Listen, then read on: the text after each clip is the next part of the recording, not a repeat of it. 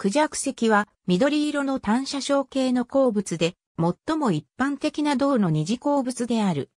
化学組成は炭酸水酸化銅 CU2CO32 であり、銅製品にできるサビの6章の主成分と同じである。被膜状、粉状、微結晶の集合体などの形態で産出する。ブロシャン銅鉱やギク弱石に外観がよく似ているが、気塩酸などの酸に溶けるときに発泡するかどうかで区別できる。クジャク石は銅を含む最も一般的な二次鉱物であり、一次鉱床の銅鉱石が大気中の二酸化炭素や地下水の作用によって風化し、銅化合物が濃集して形成された二次鉱床として一次鉱床の周辺などに分布する。黄銅鉱から生成したクジャク石には、まだ中心部に黄銅鉱を残したまま発見されたものもある。現在では、ロシアのウラル産地、ついで南アフリカが主な産地となっている。ウラルでは建築建材に利用できるほど大きなクジャク石を産出する。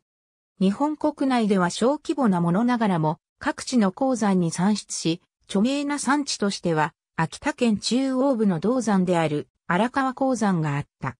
クジャク石の名は、クジャクの羽の模様に似ていることから付けられた。クジャク石の名は、微結晶の集合体の縞模様が、クジャクの羽の模様に似ていることに由来する。英語起源のマラカイトなど応語表記はギリシア語に由来する。クジャク石は紀元前2000年頃のエジプトで、すでに宝石として利用されていた。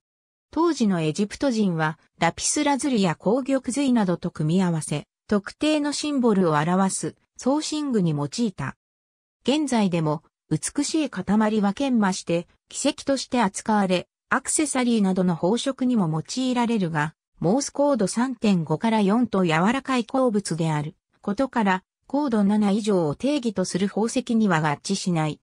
銅鉱石として利用されたこともあるが、現在では高品位の銅鉱石と競争できないため、ほとんど使われていない。ただ、銅を取り出す実験材料として用いられることがある。クジャク石の粉末は顔料として古来から使用されている。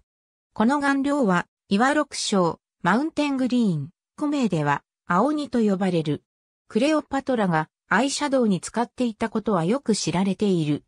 銅の炎色反応を利用した花火の発色剤としても重用される。墨のようにすずりですることによって、雅楽の楽器である章の青石としても用いられる。石言葉は危険な愛情。ありがとうございます。